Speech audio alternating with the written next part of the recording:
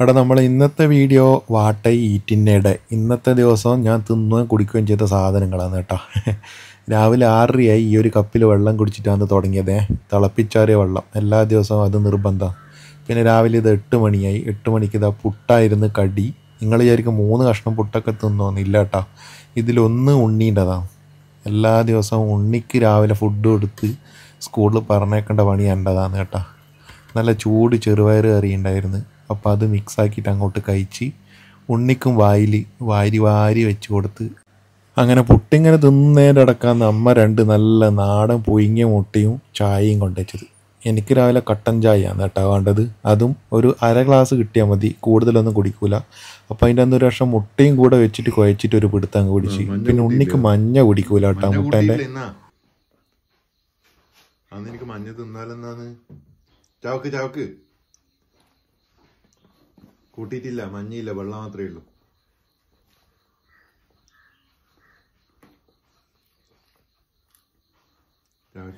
അങ്ങനെ ചായയെല്ലാം കുടിച്ച് ഉണ്ണീനെ വൃത്തിക്ക് സ്കൂളിലെല്ലാം പറഞ്ഞേച്ച് പതിനൊന്നര മണിയാകുമ്പോൾ ഒരു പഴം ഒരു കുഞ്ഞ് പൂവൻ പഴം വെള്ളം കുടിച്ചേട്ടാ.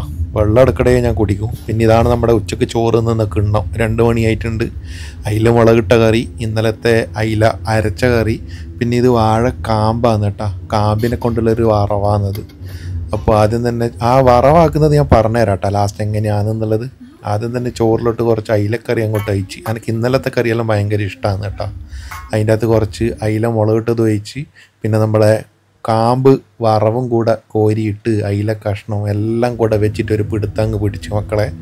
പൊളിയായിരുന്നു. അപ്പോൾ വീഡിയോ എടുക്കുന്നുണ്ടപ്പോൾ അമ്മ പറഞ്ഞു ഇടം മോനെ എന്നാൽ പിന്നെ കുറച്ച് അച്ചാറും തരാമെന്ന് പറഞ്ഞിട്ട് കുറച്ച് മാങ്ങ അച്ചാറും തന്ന്. അപ്പോൾ പിന്നെ എല്ലാം കൂടെ ഒന്നും കൂടി അങ്ങോട്ട് ട്രൈ ചെയ്ത് അരച്ച കറി ഒഴിച്ച് വെച്ചിട്ടുണ്ടായിരുന്നു. അതിന്റെ അകത്ത് കുറച്ച് അച്ചാറും വറവും അയിലേന്റെ കഷ്ണവും എല്ലാം കൂടെ വെച്ച് മിക്സ് ആക്കിയിട്ട് ഒരു പിടി വീണ്ടും പിടിച്ച് നല്ല ടേസ്റ്റ് ഉണ്ടായിരുന്നു കേട്ടോ. പിന്നെ വീട്ടിൽ ഉണ്ടായിരുന്നു ഞാൻ. ഇന്ന് പുറത്തെവിടെയും പോയിട്ടില്ല. അതുകൊണ്ടാണ് ഇങ്ങനെ. അല്ലെങ്കിൽ രാവിലത്തെ ഫുഡ് കഴിഞ്ഞ് കഴിഞ്ഞാൽ പിന്നെ ഉച്ചക്കത്തെ ഭക്ഷണമേ ഉള്ളൂ കേട്ടോ. അതിന്റെ ഇടയ്ക്കൊന്നും കഴിക്കൂല.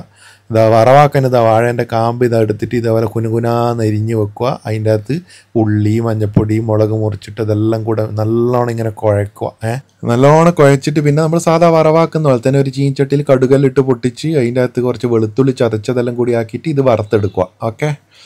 ഇപ്പോൾ സമയം അഞ്ച് അമ്പതായിട്ടുണ്ട് അഞ്ച് അമ്പതിന് ഒറ്റ ഒരു റസ്ക്കും കുറച്ച് വെള്ളമാണ് കുടിച്ചത് കേട്ടാ.